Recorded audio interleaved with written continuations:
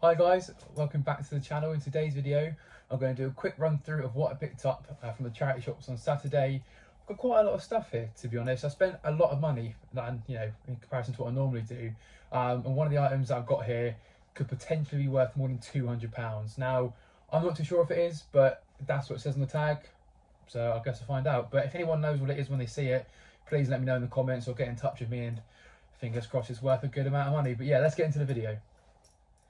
So first up, we have a Buzz Lightyear action figure. I paid £3.50 for it, as you can see. It's in okay condition, like, you know, a few marks on the helmet up here in the visor. The hands are in working condition, all the buttons work. I won't press them because they're quite loud.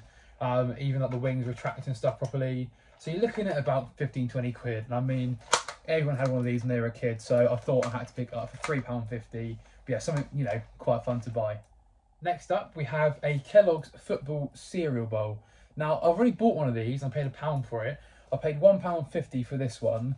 On their own, they're not worth too much, but together you can get bundles for like 15 to 20 quid. So I'll probably put up for £20 sort of range, see what happens. If they don't sell, I'll probably keep these because I had them when I was younger and obviously we got rid of them after, you know, they got chipped or whatever. But yeah, £2.50 for two bowls collectively into at least 15 So something to be on the lookout for. And usually you can pick them up for a quid each. So yeah, it's a good little flip on something like that. Next up, we have a pair of brand new of tags, Dickies Red Hawk action trousers. Now, I bought a pair of these recently for about £8, I think, and they sell for £27. Uh, these ones were £6.49, as you can see from the tag there. Uh, so yeah, they are Red Hawk Super Trousers. These are 36 small. The other ones are sold with 38 small, so a bit of a bigger size. But again, brand new condition, really nice. And I think these are actually a bit uh, different. They have like a hammer pocket on this one, or a hammer, you know, clasp almost instead of a zip pocket. But yeah, I reckon at least 25 back on those. And again, it's brand new Dickies stuff, and this is always stuff to be on the lookout for. Next up is this Lauren Ralph Lauren like knitted sort of cardigan jumper thing. It's got a nice little badge on the front here. This one was eight pounds, so it's picking up a little bit. Um, this is the label in the back. It's like a green label with white writing. Now, originally it looked a bit fake just because like the text on the label didn't seem right, but inside it's got the supplier code, so that's how you check it's legitimate. Again, eight pound, 35, 40. I sold like a really heavy cable knit jumper for 35 or 34 pound quite recently, but this one's got this nice like almost like shirt underneath. It's like you're wearing a shirt underneath a jumper, but it's only one piece of clothing. So yeah, eight pound, uh, at least 35 back on that. So something to be on the lookout for is that green Lauren Ralph Lauren label there. Next up, completely off season, but I picked up a Christmas jumper. It was only a pound. They had this clearance stuff. All these sort of things were a quid. Now I know it's nowhere near Christmas, but I'll look at 12 to 15 quid when it comes to December. So if you can find Christmas jumpers for a pound at this time of the year, just grab them, hold on to them, stash them away, and they will sell for over £10 at least, especially when it comes into that first week of Christmas for Christmas jumper day. Next up is this vintage Harley Quinn's like animal tie-dye jumper. It was £3.79, a bit of a weird price. And it's got a T-Rex and a Triceratops on it, if I know my dinosaurs. This sort of stuff does well in America. Uh, this is the tag that is on. It's like Harley Quinn. It's like a, like a whale on it almost. I'm not too sure on this, to be honest. Some of the t-shirts go for 20, 25. Some of the jumpers go for 25, 30. So £3.70, call it four quid. I reckon I'll get at least £20 for this. It's quite cool. It's that sort of vintage style, you know, tie-dye. The graph is quite cool. The back is plain, nothing on it, but at £3.79, you know, again, I'm going to get at least 20 back on that. But I thought it was just something quite cool that I don't normally pick up. The next item I've got is this Woman's Kin, I think is the brand. It's this label here. It's a brand by John Lewis. Now this was only £3.79 again in the same shop. I've seen this brand before and it's done quite well, like £20, £25 sort of range. It's like a blouse shirt with this like nice like diamond pattern on the front and stuff. So for £3.79 again, I reckon at least 20 quid, but I've heard a lot of resellers pick this brand up before.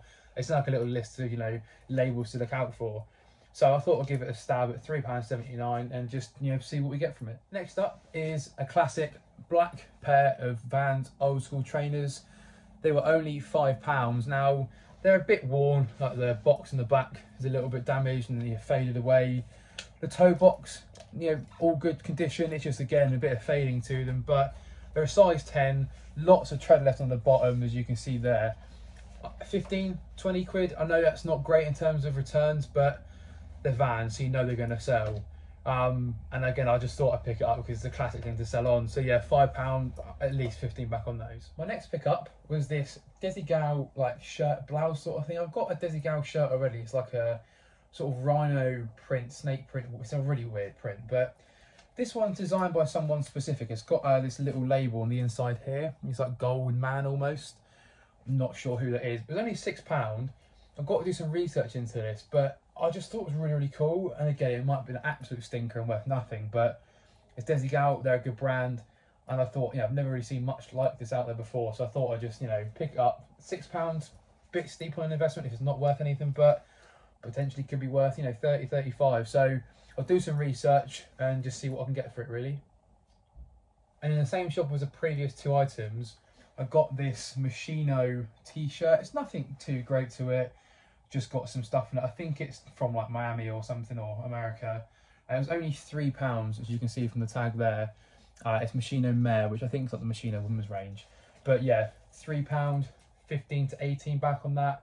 It's a nice, you know, bigger size, but again, it's Moschino. You can't really leave that behind, especially when it's only three quid. Now, this next item is the one that could be worth triple figures. So I picked this up for £15.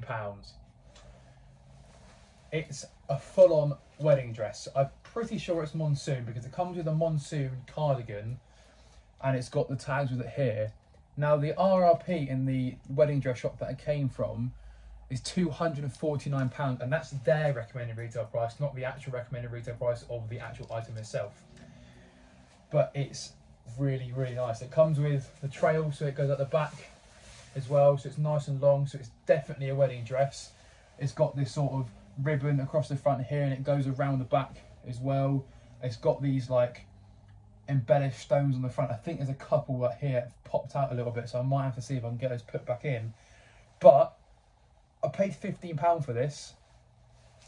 Monsoon wedding dresses, if this is definitely a monsoon and B a wedding dress, could be upwards of £200. As you can see, the RRP on this alone was £249. Some wedding dresses fetch £500 brand new from the website, and this is brand new almost, I think. So I'll get some photos, see if I can do some more research and find out what one it is exactly.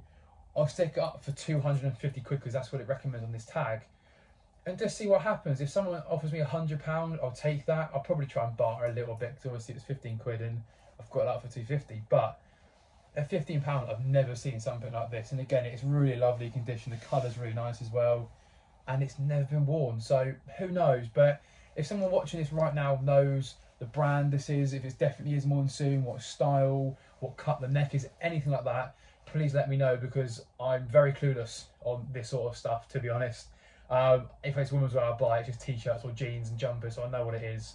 Never wedding dresses, but yeah, 15 quid. My money's definitely safe in something as good as this. Let's run through some eBay and Vinted solds. To start off with on Vinted, I sold this pair of O'Neill three-quarter length denim shorts. Uh, these cost me about £3, £3.50. It's got a nice little spell out down here on the inside of the leg. Nice detailing on the end band. Uh, on the back, there's a nice little badge on the pocket. So yeah, these are three pound, three pound fifty sort of range, uh, and they've gone for fifteen pound on Vinted. I was happy to accept another offer. They've been sat around for a long time, and three and fifteen is still really good. So yeah, nice little find there, and that's the first of six sales in the past five days. My second sale on Vinted was this uh, vintage Guess handbag. I paid three pound for this because it was on a shelf. I grabbed it, didn't really do much looking into it. However, the top of the bag's a bit broken on the sides there's some gaps and stuff but I mean it's still in really good condition in terms of the age of the handbag itself and you know there's still lots of use left in the handbag um, but that's gone for 18 pound which I thought was still pretty good considering it's as bad as it is and that's on Vinted so 15 pound profit on that alone but yeah Guess is obviously a really good brand to look out for especially the handbags as it may seem but yeah that's the second Vinted sale in the past five days now onto the eBay solds the first one was this Muggle mug. I picked up in a charity shop for two pound. It sold for fourteen pound. It sat around for almost a year, I believe. Um, but yeah, so fourteen pound, and it's off to America via the GSP. The buyer actually pays seventeen pound for shipping. They pay more for the shipping than they did the mug, but nothing crazy about it.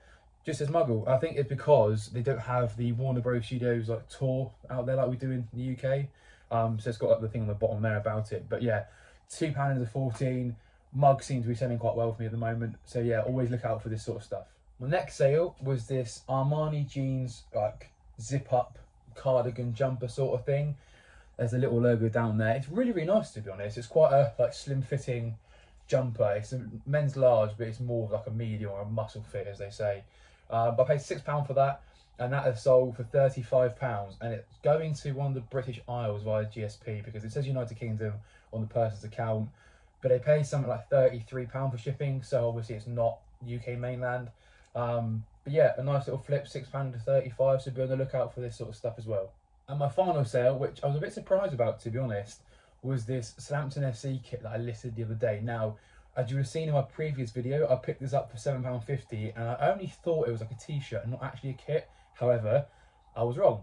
And it is a kit, and it's actually a vintage score draw kit. So as I showed the last time, this little label here. The newer ones are like green in colour. This is more cloth material and actually like quite thick because it is actually a vintage kit. So this is a 1986 centenary kit. Um, yes, £7.50 for this, sold for £40, full asking price. I had no lowball offers whatsoever. No one even offered 35 I sent a couple offers of 38 out just to see if I got any bites. But yeah, this is going to somewhere quite local to me. So obviously a Saints fan. Um, but yeah, I'm quite happy. Seven pound fifty into forty. So if you see this kit around, make sure you grab it because it's worth a good amount of money. So thank you very much for watching guys. That concludes today's video. But before I go, I wanted to give a shout out to a few people who've been subscribed since I've started and constantly comment on my channel. So to start off with, we have Wilby, who commented on one of my very, very first videos. I'll put his little uh, thing here about what he said again, just thank you very much for support. I really appreciate the kind words and thank you. Next up, we have Kaji Koig, I think is how you say the name. I'm sorry if I butchered that. I'll put his channel here as Instagram here on the screen. Uh, he gave me a shout out on YouTube, and some people came from his channel and said, I'm from Kaji Koig, and subscribed to my channel and gave me some support. So I'm really appreciative of that, especially to give me a shout out as a little reseller starting out. So thank you very much, Kaji Koig. Next up, we have Craig Rennie, who's commented on a ton of my videos and he's been really supportive on all of them. I'll put some screenshots up here.